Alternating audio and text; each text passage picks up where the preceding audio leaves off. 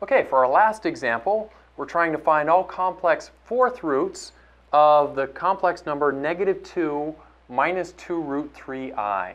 So from the beginning, I should say, we expect four answers. That's because we're looking for fourth roots. So at the end of this, we should have four answers. And I'm going to convert the number into polar form. So let me remind you of the formulas for polar form. x squared plus y squared.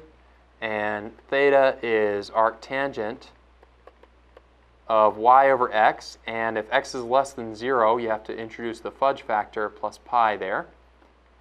And so I'll go ahead and find that right away. r is equal to the square root of negative 2 squared is 4.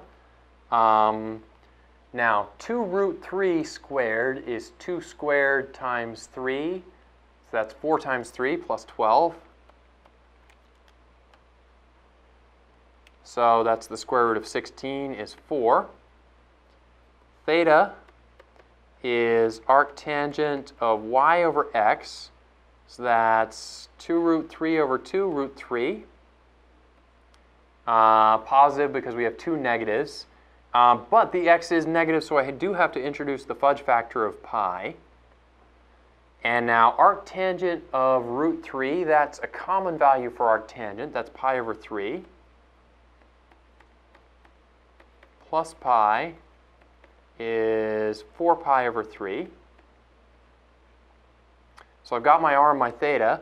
So z is equal to r e to the i theta, 4 e to the 4 pi over 3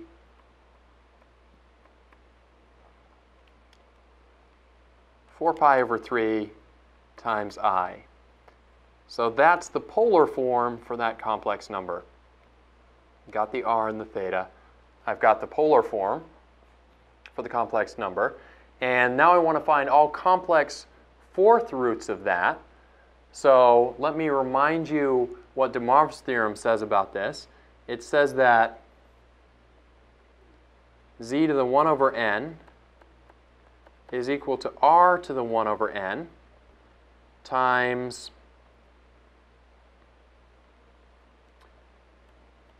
cosine of theta plus 2k pi over n plus i sine of theta plus 2k pi over n. And you figure that out for each value of k from 0 to n minus 1. And in this case, n is 4, so k goes from 0 to 3. Okay, so I'd like to make a chart here of my all the possibilities here. So let's work out what k could be. We already said that that could be 0, 1, 2, and 3. Now, I want to figure out what this angle theta plus 2k pi over n is. So theta plus 2k pi over n. Now theta is 4 pi over 3, and n is 4. So this is 4 pi over 3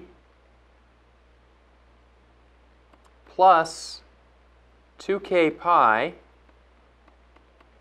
over 4, which simplifies down to uh, 4 pi over 3 over 4 is just pi over 3 plus 2k pi over 4 is just k pi over 2. So let's figure what, out, what that value is, figure out what that value is for each value of k. So when k is 0, that's just pi over 3. When k is 1, that's pi over 3 plus pi over 2. Common denominator is 6. So that's 2 pi over 3, or sorry, uh, 2 pi over 6 plus 3 pi over 6 is 5 pi over 6. When k is 2, this is pi over 3 plus uh, 2 pi over 2 is pi, which is 4 pi over 3. And when k is 3, we have pi over 3 plus 3 pi over 2. Again, common denominator is 6. We have 2 pi over 6 plus 9 pi over 6 is 11 pi over 6. So those are the four angles we'll be looking at. We'll be plugging in to the sine and cosine formula.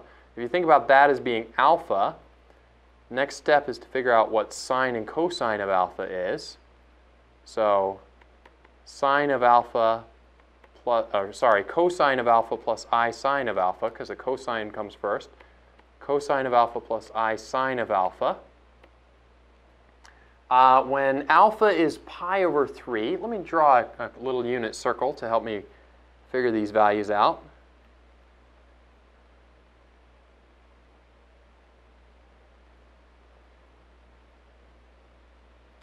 So when i is pi over 3, or when, when, alpha is pi over 3, that's up there, the sine and cosine are or sorry, the cosine and sine are 1 half and root 3 over 2. They're both positive because we're in the first quadrant.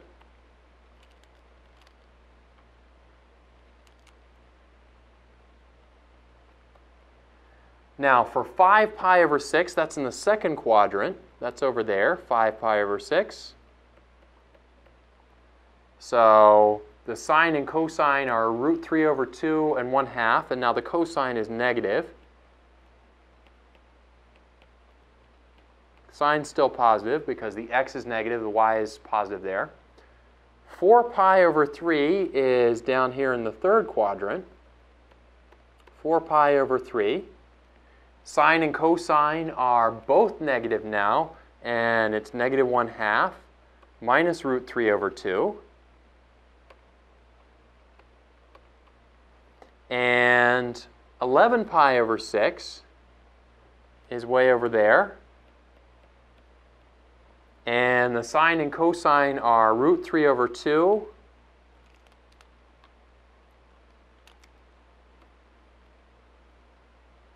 And the sine is negative, so minus i times 1 half there.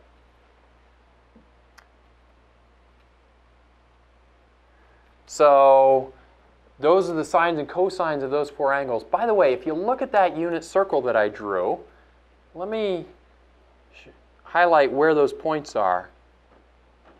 You notice that they're exactly evenly spaced around the unit circle. It's because uh, we were adding on k pi over 2 each time. We are adding on pi over 2 each time. So we get these four angles that are exactly spaced out around the unit circle by intervals of pi over 2.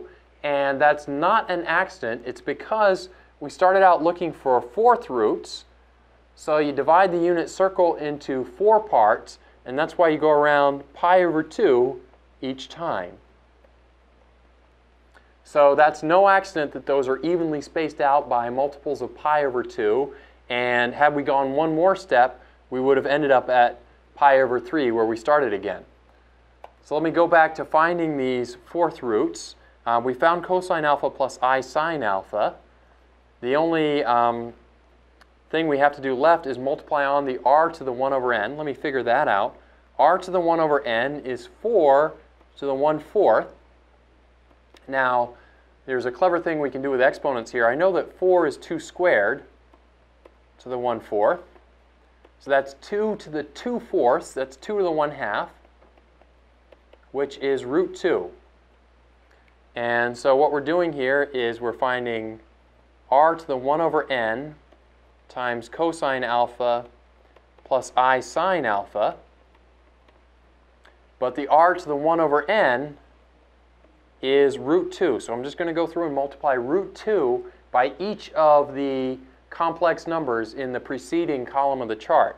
So root 2 times the first complex number is root 2 over 2 plus i times root 6 over 2. That's because root 2 times root 3 is root 6.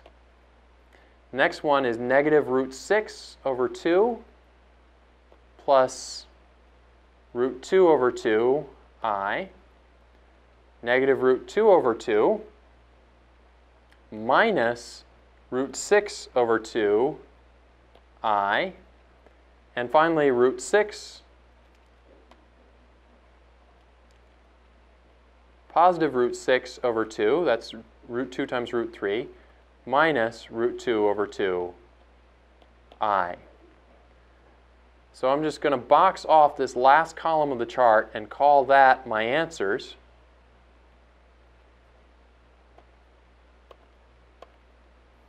And what that means is that these are four complex numbers. If you take any one of these four complex numbers, those are my four answers, if you raised any one to the fourth power, what you should get is the original complex number that we started with, negative 2 minus 2 root 3 i. So that's the end of that last problem. Let's go back and recap and see what strategies we used to solve it. Uh, we started out with this number minus 2 minus 2 root 3i. I wanted to get that in polar form so I could use de Moivre's theorem. de Moivre's theorem only works on complex numbers in polar form. So I use my equations for polar form.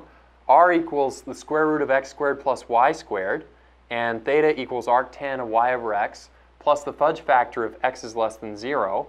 Now, my x and y, I got those from the original complex number.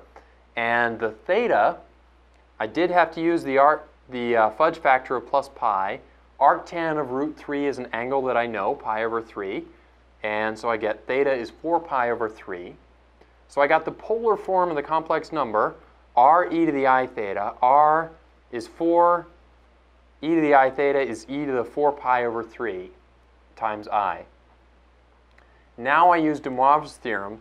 de Moivre's theorem says you look at z to the 1 over n is r to the 1 over n times cosine alpha plus i sine alpha, where the alpha is this theta plus 2k pi over n, and then you plug in different values of k going from 0 to n minus 1. Well, the n here was 4, so I run k from 0 to 3. That's n minus 1. And so here I made a list of my different k's. For each one of those, I figured out theta plus 2k pi over n. That was the second column. Theta plus 2k pi over n. And that's what I was calling alpha. So I plugged in theta was 4 pi over 3, n is 4. And then I plugged in different values of k each time to get these four answers for alpha. For each one of those, remember de Moivre's theorem says you look at cosine alpha plus i sine alpha. So I looked at cosine alpha plus i sine alpha in this next column of the chart. And to get those cosines and sines, I drew my little unit circle here. And I read off the cosine and sine of each one. Those are common values, so I do remember those. And finally, I have to multiply this by r to the 1 over n. What I worked out over here was r to the 1 over n. r was 4, and n was also 4, so it's 4 to the 1 fourth. Right 4 is 2 squared, and that gives you a quick way to figure out what, um, to simplify down 4 to the 1 fourth. Simplify that into square root of 2. So I multiply r to the 1 over n, square root of 2, that's here.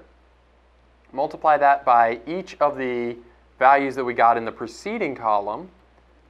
We multiplied these by square root of 2, and that finally gave me my four answers for the fourth roots of negative 2 minus 2 root 3i. So these are my four answers right here as my four fourth roots.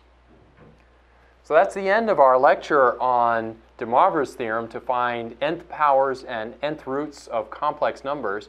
In fact, that's the end of all our lectures on trigonometry. So thank you very much for watching. This has been Will Murray for Educator.com.